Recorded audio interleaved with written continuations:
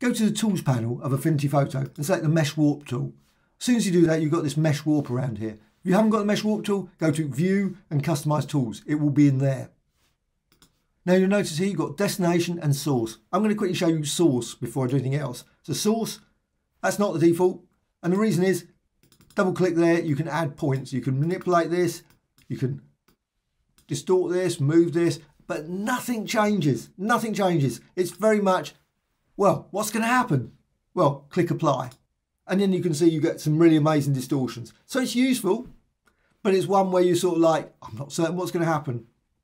Yeah, you, after a while, you probably can get a reasonable idea. So undo. Personally, Mesh Warp Tool, I'm going to use Destination.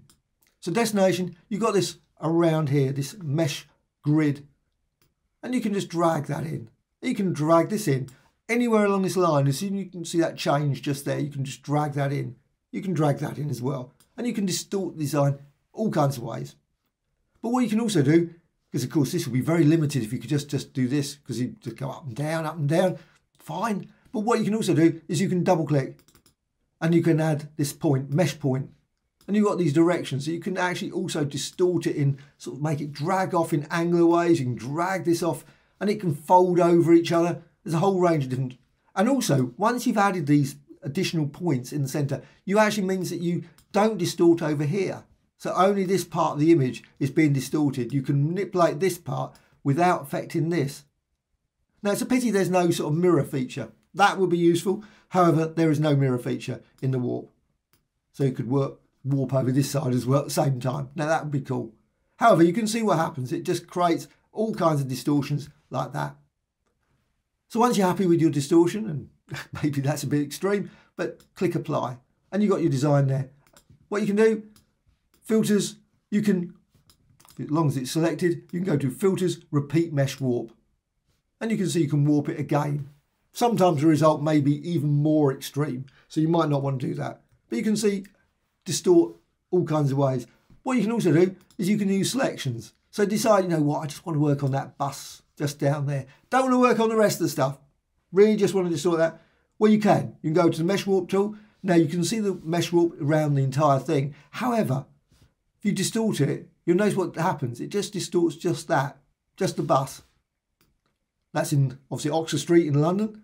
You just distort the bus. So you can just move it. So if you want the bus to be slightly ajar, now, of course, you create multiple selections. You can create different selections than just this. So you can create some really interesting effects just by using the freehand selection or maybe use the select menu to select certain areas and distort those.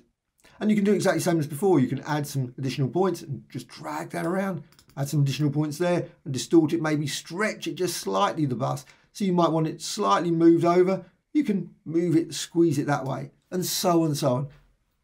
Click apply. However, also what you can do you can also again use that selection or maybe a different one. That's just elliptical marquee tool. Use that instead. Select that area. Control C, Control V. So you get a layer. So you've got a layer. Remove the selection. I don't want that selection now. You can move it around, of course. You position it there. But what you can also do, Mesh Warp tool. Mesh Warp tool, and you can distort that as well. So you can create all kinds of, maybe a heart design, whatever. You can create all kinds of unique shapes. And again, exact same as before, you can add your different points there as well. And click apply. And again, with it selected, that's the key thing, you can also use filter and repeat mesh as well. Also you do, you've got type. So type, just put some type there. Now this will be turned as soon as you do it. So you've got word type there. Go to the mesh warp tool, select that, and you can distort that. Do exactly the same as before. Double click, add some points, and you can then warp it and distort it like that.